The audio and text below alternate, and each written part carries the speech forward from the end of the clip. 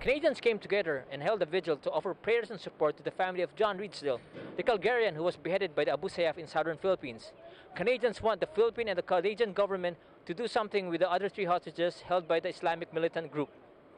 Many Calgarians were shocked and angry at the Canadian government for not doing enough to save the life of John Ridsdel.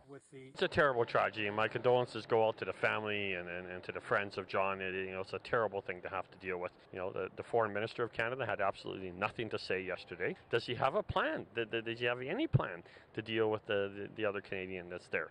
Or are they just going to put their hands in the air and Pastor Arthur Pawlowski, who was invited to lead the prayer for Ridsdel's family and the other hostages, believes that the Canadian government should do more on the war on terrorism and protect its people against Islamic extremism.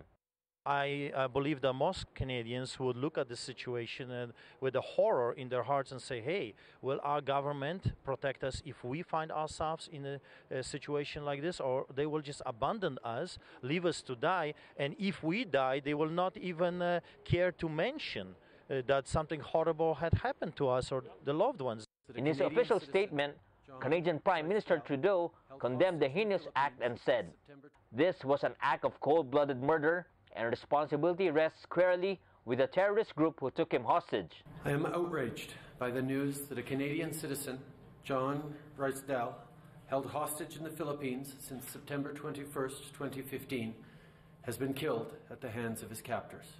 Filipinos in Calgary were also saddened with the murder of their fellow Calgarian. Now they are worried that the three other hostages might suffer the same fate.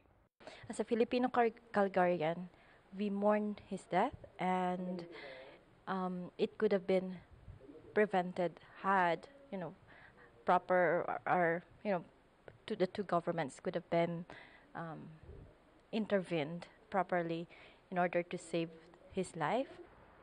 Another vigil rally is being planned by the organizers to pray for the safe release of the other hostages. Cuevano, ABS-CBN News, Calgary.